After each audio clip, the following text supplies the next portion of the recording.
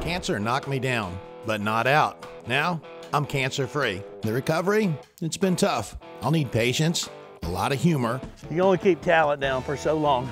and support from friends and family. Over the last two years, I haven't played much golf, but there's no better place to get back in the game than on 66 courses in Myrtle Beach, South Carolina.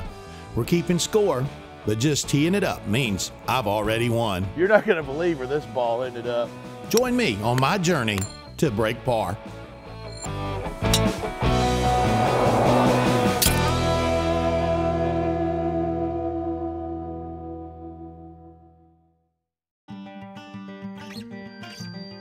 Ah, that blue roof. That's a familiar sight. Let's see if we can get there with a birdie on the card. You see what's all the way up the left side, but be careful going right too. If you hit it long downwind, you'll go through the fairway here. And your second shot goes to a green that slopes severely from right to left. We're at Pawleys Island, South Carolina, at True Blue Golf Club. I absolutely love this design. Great example of Mike Strantz golf. He always had big, wide fairways with a lot of strategy. Now, let me show you what we're going to do here. That's a clubhouse, by the way. They got great breakfast in there. See, there's two chimneys on that clubhouse one on the left, one on the right. If you hit it the one on the right, you're going to be absolutely perfect. Look at there. Chimney on the right. Chimney on the right. Oh, I pulled that like six inches. Six inches I pulled it. Man, I peered that one right there. I'm glad y'all got a chance to see it. All right, let's see what we got. Just under 140 yards. I was mentioning on the tee that Mike Strantz always has strategy. So I'm close to the water, left edge of the fairway. That was an aggressive tee shot. What that does, it gives me a flatter lie and a much better angle to this green. You got a bunch of room over there to the right, but if you hit to the right, you're gonna have a big side hill lie.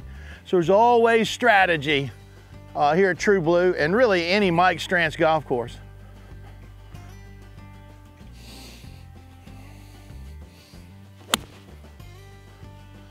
Uh-oh, let's gotta get up. Get up. Oh, that was perfect all the way. She's dry. This heavy dew will be a good chance to see how much this putt's gonna break. I got it out there about three feet.